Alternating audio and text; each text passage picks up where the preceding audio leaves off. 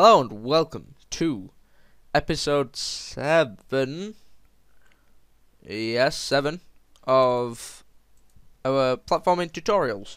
So, this tutorial we're going to be continuing on from our last tutorial, which was on enemies. And we're going to be making this guy work. Dish tray, shut up. Okay, now that I've told my dish tray to shut up, let's start. So, I'm gonna make a space for this guy here, here, and we're not gonna add a sign to him, and there's a reason, but um, we'll talk about that in a minute. I'm gonna set his speed to 100, and that's pretty much it. So levels. So this is what we've got at the minute. We've got on collision with snail. See if he's falling. If he is falling, and the Y, the player's Y is less than the snail's Y, then destroy the snail and shoot the player in the air. What we need to do is we need to say else. So if it's not this, then it needs to do this. And it'll be player, make them flash, player, subtract from and then we're going to use random random no we're not we're going to use choose. Actually no we will use random. Random's better.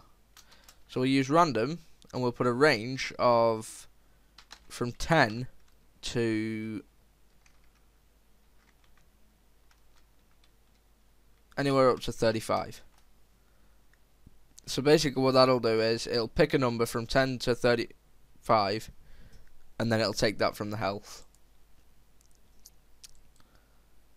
so yeah that's um that's our health uh one little thing we need to do now and we're going to stick this right at the top is just check compare instance variable greater than or equal uh, sorry less than or equal to zero.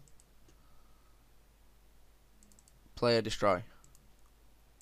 Because that's when we want to kill him.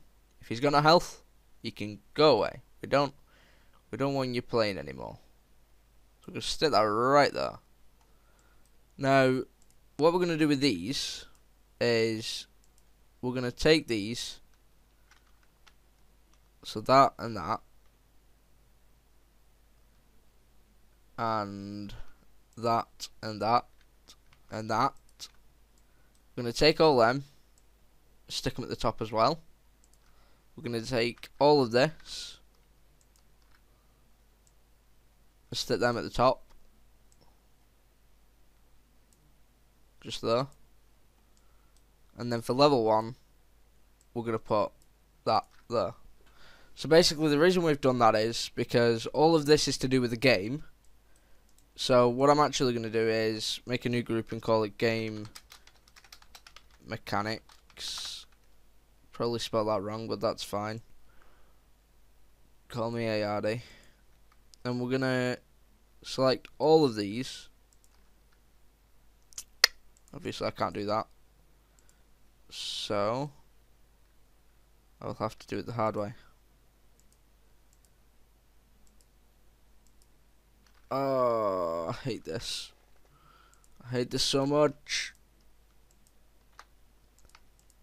Okay, there we go. I, I may have just, like, paused it a little bit there. So I didn't go insane.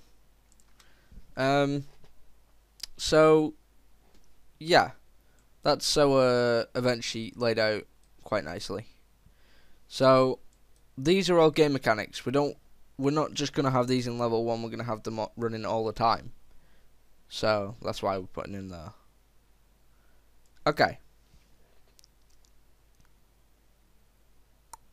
I just thought of something as well. We can actually just get rid of that. And have it on the same every tick.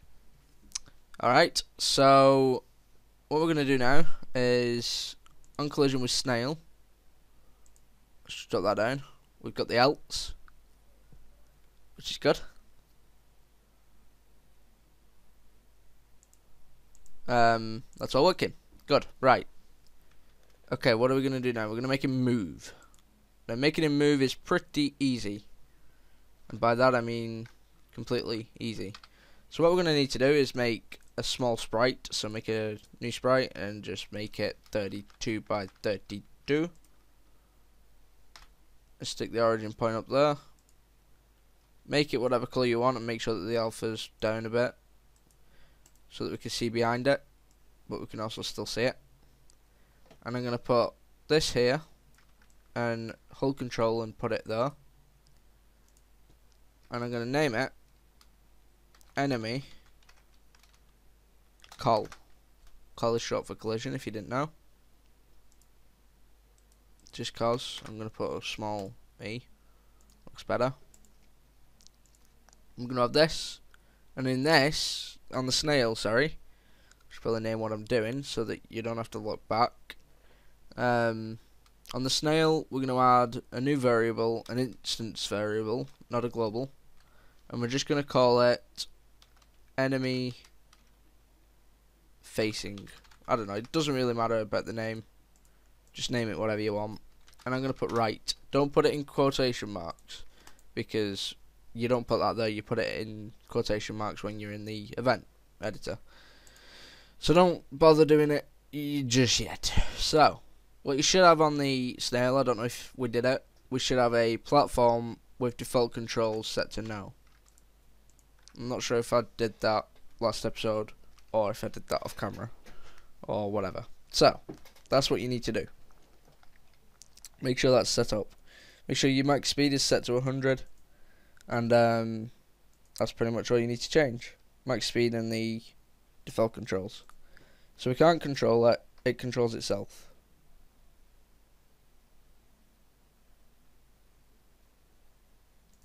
I thought I was recording my other screen then I was gonna, I was about to rage a little inside, um, as you do. So basically, this is gonna go from there to there to there to there to there to there, blah, blah, blah, and so. You can have as many of these as you want, just so long as you've got this and this and that. That's all you need. It's pretty simple. So what you could actually do is just copy, paste, put them there. But um, I'm not gonna do that. Sorry, I just like had an inside burp, as you do. Um. Okay. Levels, add event, snail, compare instance variable, enemy facing equal to, put in your quotation marks, I'm just going to change to English keyboard. Um, right, and copy and paste that and put left. So when it's equal to right, we're going to want this snail to simulate control right. When it's equal to left, we're going to want it to simulate control left. Like that. So in here, let me just drag this from my other screen. It'll obviously go right off there. I'll show you why in a minute. So basically what would what it's doing is we've told it to go right when it's set to right and we're told it to go left when it's set to left but there's nothing setting it to left and there's nothing setting it to right the reason it's going right is because the default value is set to right so um, we need to activate these so the way we're going to do that is um, snail on collision with another object enemy col press S whilst you've got this highlighted enemy col, pick from unique ID, and the unique ID is 311, which is up here, right there. If you've not seen my unique ID uh, UID video, go and watch that now. It'll help. And um, we're gonna snail set value enemy facing to left. Make sure it's in your quotation marks, otherwise it'll not work. And then you can just make another sub event, enemy col, put by unique ID. I'm guessing it's 310. And we're going to set it to right. Let me just check that. Is it 310? No, it's not. It's 270. The reason it's doing that is because I've obviously got unused unique IDs, so it goes back and uses them. So 270 would have been free, and then after 270 it's gone back up to the normal one, which is 311, which would have been a gap because this is 373, so, you know. It just gives it a unique ID. It's pretty cool. So this should now work. Drag this onto here. And as you can see, it goes from one to the other. Now we need to make these invisible, so you just click on them and initial visibility set to invisible. For that you can just click on it and then press I once it goes highlighted. And now all we need to do is where it says simulate right, snail, set mirrored, not mirrored, sail, set mirrored, mirrored for the left.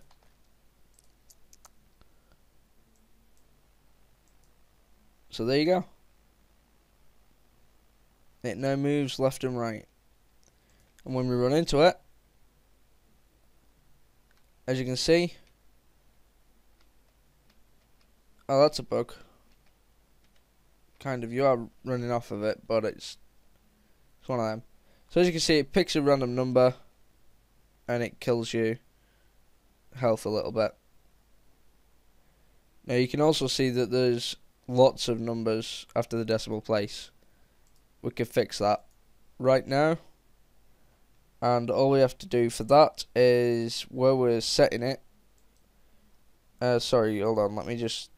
With these three, all we need to do is just drag them way up here where the rest of the collisions are. To do that, it's quite simple, just like that. Not like that. Like like that. There we go. Uh, where do we take the health? The health is taken at the top, I think, no? Where are we taking the health? That'll be on collision, won't it? There we go. Taking the health there. So drop random, and all we need to do is... Floor and then we just need to floor the number um, player dot health so we will basically floor that number why is that not working oh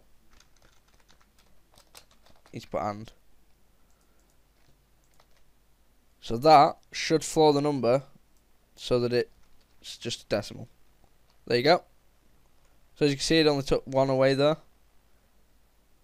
Hold on, it's only taken one away for all of them.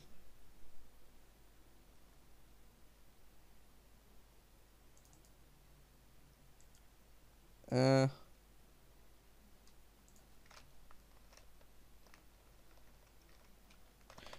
can we do and wait? This Huh. Okay, so what we'll have to do then is floor the number after it's done that. So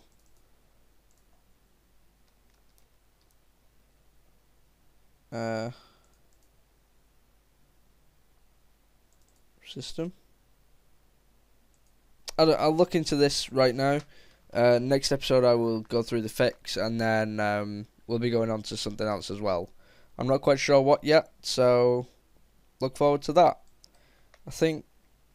Oh, there's two bugs actually. Maybe okay. So next episode we'll be going through bug fixes. Uh, I'll be going through this level and just seeing what we need to fix, pretty much. So thank you for watching, and I'll see you then. Oh, also if you find any bugs, um, let me know in the comments because that will help as well. So yeah, thanks for watching, and I will see you next time. Goodbye.